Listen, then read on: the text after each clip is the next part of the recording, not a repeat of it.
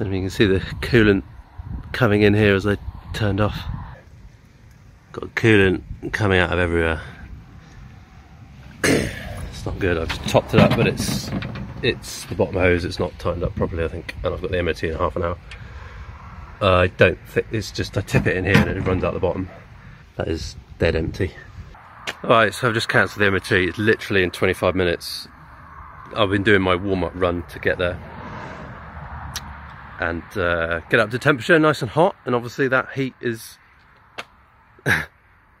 cause a problem. I can't really see at the moment because I need to get on my back and I don't want to lie in muddy coolant. So there's water all around here it's splattering around but it's the bottom hose.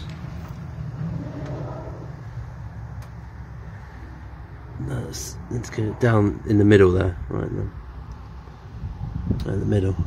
It's been leaking out of that. As it stands I cannot move the vehicle. So I'm probably going to have to bring my other Defender, bring some stuff to get on the floor, see what the problem is, bring a whole load more coolant. Well, glad I had this. I've had it in the back for so many years and never used it. But it turns out that the leak was so big that I've, even if I did fix the leak, I've got screwdriver, I've got screwdrivers in there, even if I did fix the leak, I've got no coolant to put back in, any water, so I mean, I think the whole lot's come out because it's there's trails all up the road. But this thing saved me. It saved me. It's paid off after all these years.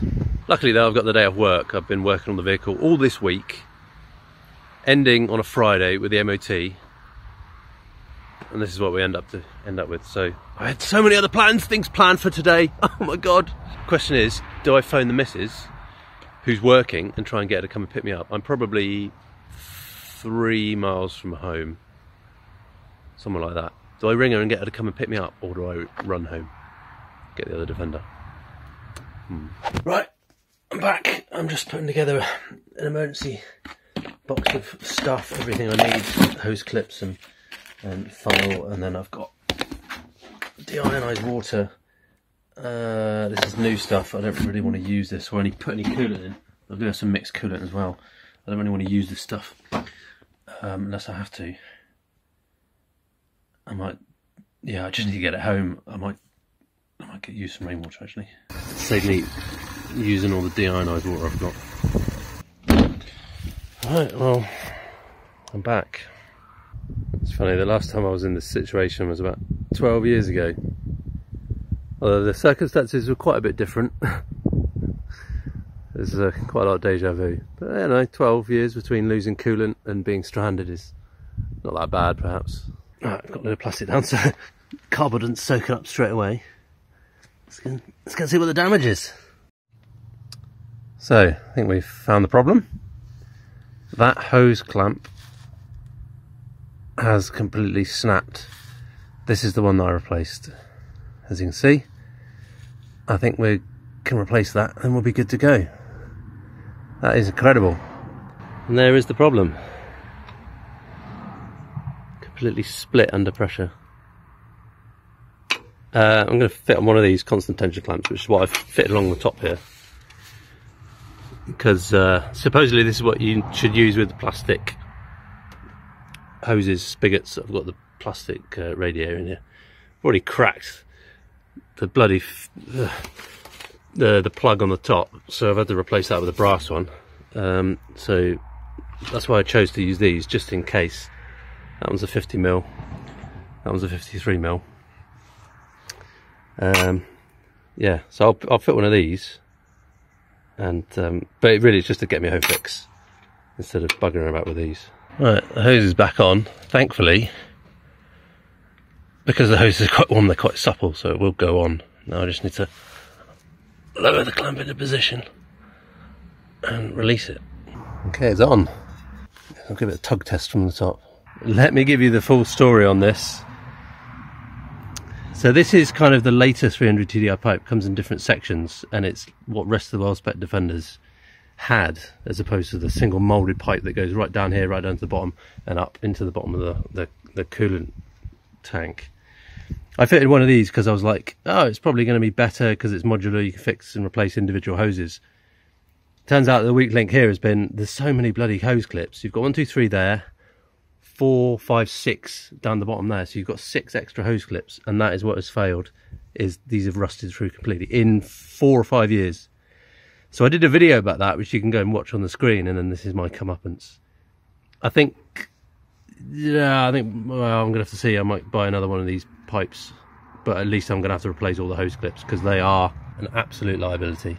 What I was trying to feel on that pipe, uh, on the pipe down there, is for a barb, and they don't tend to have barbs like you would think along the edge here. I think they have sort of raised ridges that this is supposed to clamp onto, like gripping as opposed to having a barb. Yeah, I can't feel a barb at all this side of the hose clamp. So it's an interesting concept there. What I might do is buy a genuine one and see what the genuine one's like. Because I think I did originally think, well, this was sold as genuine and I bought it on eBay. In hindsight, I think it's not genuine. I think the hose clamps give it away. But I might buy a genuine one just to compare. Although maybe very luckily, I do have my other Defender here, which is a Rest of the World Spec 300 TDI, or was before they put the 2.8 in it. Um, this is 2003. I think it's got genuine hose here, so I think that's original. This is the original hose here. It has better hose screw clips. Um, that doesn't have barbs on there either. That's just sort of flat down. That's interesting. This one's had an extender piece put in for some reason. I don't really know why. But these clips are in very good condition comparatively. See that? They're probably just generally better quality these. The other ones that came with the other hose have just completely rotted out. They're probably the cheapest of the cheap, whereas these ones are a lot, uh, a lot better. Okay, that's taken about seven litres. One of these plus a bit more there. It's about seven litres. Can't hear any water gushing out. So it lost seven of 11. And that's within the space of the low coolant alarm. The low coolant warning came on. I probably pulled over at this turn off 20 seconds after it came on. Okay, see if there's any leaks.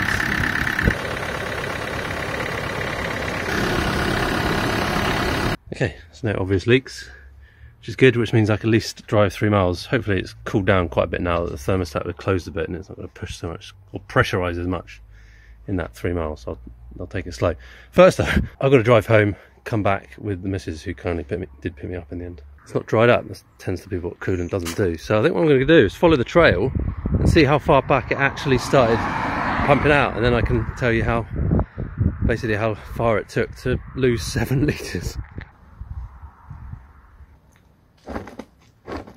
So when I did go back home with the other Defender, I measured, I retraced my steps, and following the coolant trail, was very obvious where it started, 0.4 miles from where the coolant trail started to where I'm parked right now. And I lost more than half the coolant on this Defender.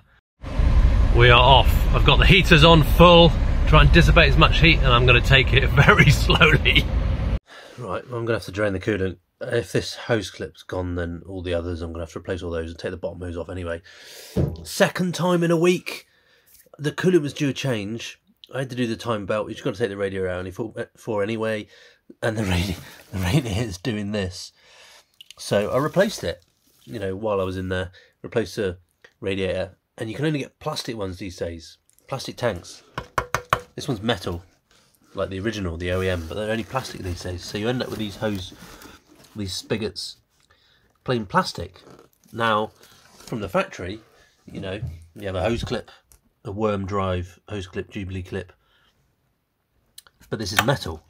Modern vehicles have got constant tension clamps which are designed to be used with plastic. Supposedly, I don't know if this is a myth or you know an internet myth or real world, but the the, the internet says that the plastic expands with temperature and then you know this adjusts um, it also means that you're not going to wrench down with the screw and then crack this because it just pr provides an even bit of pressure all the way around, which I kind of like.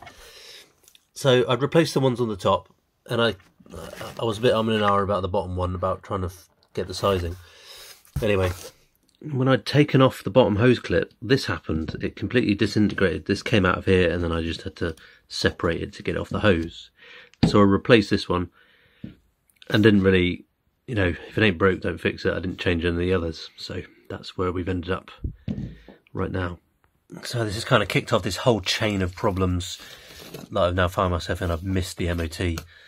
Um, I'm keeping this one though, just if I can get it recalled again in the future, which is why it's in this box. Just, this is what happens when you start disturbing stuff on old vehicles. You end up with a mess. So if we're going to do some analysis on this, 0.4 miles at 55, 60 miles an hour, as I remember it, it's basically about 650 meters at 24 and a half meters a second at 55 miles an hour, which basically puts it about 26 seconds for all the coolant to drain to where it is, or for me to uh, pull over. Um, if I was going at 60 miles an hour, about 24 seconds. So around about the same. I remembered it being 20 seconds, but it, the, had, the coolant alarm had gone on briefly this morning. It does go on. The coolant drops over you know a few thousand miles, and it flickers on and off. Um, the light flickers on and off as it gets sloshed at heavy braking and the level's a bit lower. So it had been on that this morning, and I thought it was just like an airlock working its way through. I didn't really think about it, but this was on and it stayed on. And I, and I had to double take for a second. And I was like, huh, that's staying on. But then I just had to trust my instincts and say, no, it's on. I need to check it for a reason.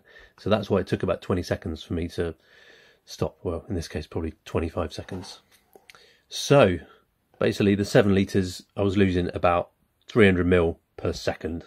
That's probably the highest rate you could imagine. I think because it's the whole hose was open and with just coolant flooding out of it. Actually, from two ends, even one the hose at the top and the hose the bottom stub of the radiator. Um, so yeah, 300 mil second. What that means is five litres of antifreeze cost £27 at 50% mix. I was losing one pound a second in that incident. But in reality, it could have been a whole lot worse. All thanks to the uh, the low coolant uh, alarm I've got set up. If you want to know a bit more about how I've set that up, there's a video linked uh, in the description and on screen, and there's also an article on my website where I describe how I put it together. There's lots of different ways of doing the coolant alarms out there, um, but the one I've chosen is one that, that's fault tolerant, and a failure in the wiring or a low coolant will trigger the, the, the warning light. So basically, what that means is uh, the correct level will hold the warning light off, as opposed to a low level triggering the light on, which is not fault tolerant. Got to drain the block as well. I always find this one a pain. Got to take this out because actually there was a bit of coolant left in, but it's very diluted, and it's actually going to be freezing tonight. It's going to be the first time, first night, in freezing temperatures. Move that out of the way. These are the offending hoses. You'll see down the bottom of the silvery one, that's the one that actually busted when I removed it. Got the bottom hose off, it's all been drained. These are some of the crusty ones that I'm going to need to replace. Anyway, I've ordered a genuine hose. I'm going to do another video follow up this and we'll see where we go. A bit of a comparison between this cheapy one, different types of hose clamps we can use, and uh, we'll go from there. See how we can improve on this design so that we don't end up with this happening again. Anyway, Thanks for watching. Bye for now.